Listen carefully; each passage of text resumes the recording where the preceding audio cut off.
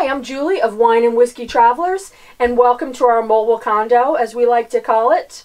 I'll give you a tour after to show you some of the things that we've done to set it up for us while we're on the road because we're both self-employed, so we need to have a mobile office and have everything convenient and not cluttered, some flexibility. So we've done some things I think that might interest you or work for you if you also work while you're on the road. We are going to be leaving this mud pit very soon, heading to Florida and warmer weather. But just wanted to show you what we're what it looks like here before we leave. As I said, it's a mud pit. We're looking forward to warmer weather and no mud. Showing what we have going on inside as we get ready to make our final upgrades to plan for our travels. The new table will be going in. The WeBoost is going in. We've already updated the batteries. Added a second battery. This is just showing you the overcab area right now, which is kind of a dump zone. We used these insulating pillows all winter and they were great. And they've got the insulating on the back. So once we take those out, it'll be a little bit brighter in here, which is great. So this is the chaos before the trip, getting the RV or condo as we call it ready for a longer trip, a longer duration, to make it feel more like home. So stay tuned. Okay, we have made some progress here. We have the table, new tabletop on. Still working to secure it. Working on the overhead storage. Still a little bit chaotic in here with stuff kind of all around the old tabletop is off. So waiting for the tabletop to go in and then we can start cleaning and putting everything back together. Okay, so we made a lot of progress. We have the new tabletop is in. We're getting organized. Still working on those bins up there. But the floor is clear. We got some clearing on the counter, so that's good. And I made some progress on that storage area above the cab. So we're getting there. Wanted to show you, we added the WeBoost. We did that, added that to the top of the ladder. The cable runs down, goes underneath, and comes up near the dinette. So that was pretty simple. Wanted to show you the Moto Tote, which is now on the back. The motorcycle is going to go on that. And we'll definitely show how that works. Pretty psyched about that. And so far it's looking good. We're happy that the, the mud has subsided a little bit because it was getting a little crazy walking back and forth to pack this thing for our trip. And there's the Moto Tote, so stay tuned for more. Today is cleaning day here in the condo. Got the heat on, warming it up, and we're going to do the final clean so we can start packing for the trip. Nice and sunny in here. That's what we love about it. A lot of windows. And the doggies.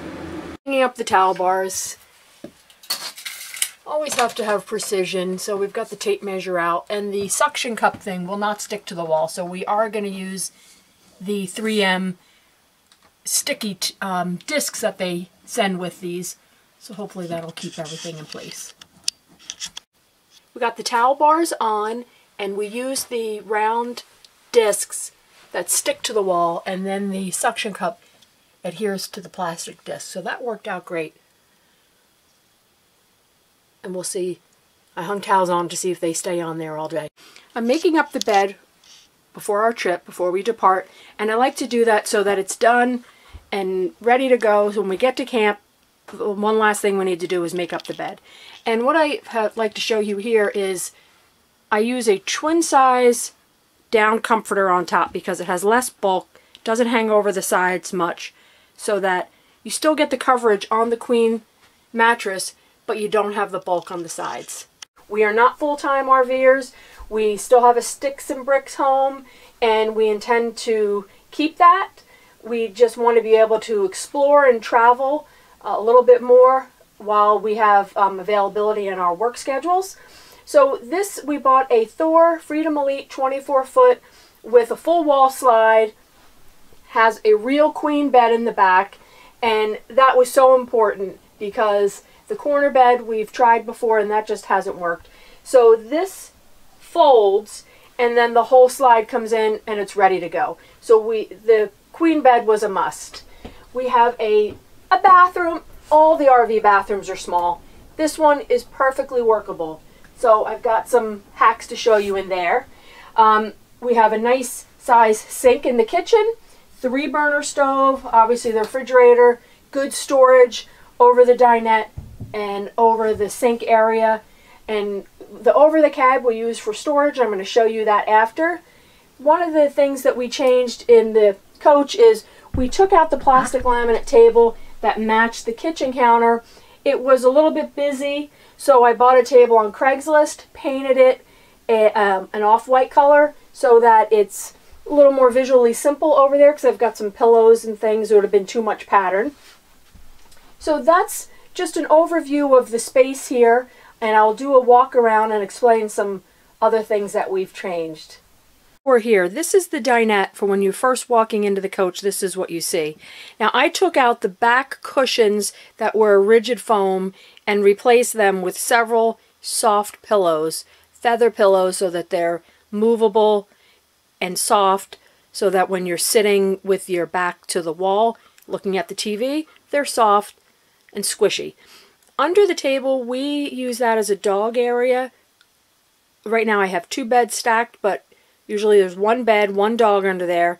And then on travel days, I put a gate up between the table and the floor to keep the one little crazy dog confined. And then the other dog sits up on the bench. So that's the dining area. Changed out the table from the plastic laminate that came with it to a table I got on Craigslist. Painted it, gave it a distressed finish so that it was a little bit more relaxed feeling. We love this coach because of all the windows. It's very bright. You can see it's still snow outside, still winter. We're officially in mud season. Now here's the overcab area. I mentioned that we we work while we're on the road. So we took the cushion out and we did two plywood platforms and I got this drawer tray thing and it pulls out. Got the gripper stuff in there. So our laptops will fit in there in addition to our small printer. So all that can be tucked away when we're not working. And all I did was put bumpers on the bottom and it holds them in place. Really doesn't move at all. And then we can store things on the side and the top. We have our privacy shades we store up there, the skylight insulation, extra chair. So we use that as our storage area. I don't see how it would work otherwise. There's just so much stuff that you need. So we have a TV here, and there's a TV in the back. Nice big sink, which I like instead of the double sink. And I just put a bin inside so that you can fill it up with water, still have water running. Three burner stove. We put on that peel and stick stuff on the side because the other stuff was so ugly.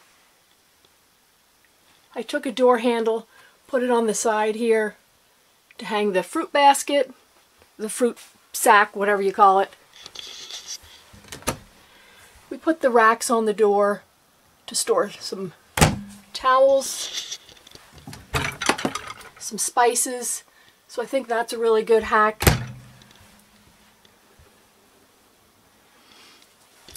I really like the queen bed as I mentioned earlier because it's a full true size queen. We put the three inch memory foam topper on it so that it's really comfortable. We love all the windows. The storage above, I have extra bedding, blankets, and things because we're going to be starting off in the winter. And so we'll, right now I have a down blanket on there and then we'll, we can take those things off as it gets warmer, hopefully. We do have a full-size closet too, which is nice. I like those uh, suction cup uh, mirror hooks. Those have been on since day one and they have not come off at all, which is great. The closet is nice with the hanging space and space in the back for shoes I'm hoping will fit there comfortably. Another TV there. The bathroom, as I mentioned, we put the, the suction cup towel bars, which I think is pretty cool. And the shower hack, which I have shown with the two shower spring shower curtain rods that go across and then hanging the mesh the mesh pocket hanger to keep all the bathroom products up off of the floor and secure. So the bathroom works pretty well. I like the gray towels just for ease of not seeing every speck of dirt. And that's the tour of the mobile condo, which we will be in for a few weeks. And we'll talk about the cab more. We did some things with the cab to update that as well.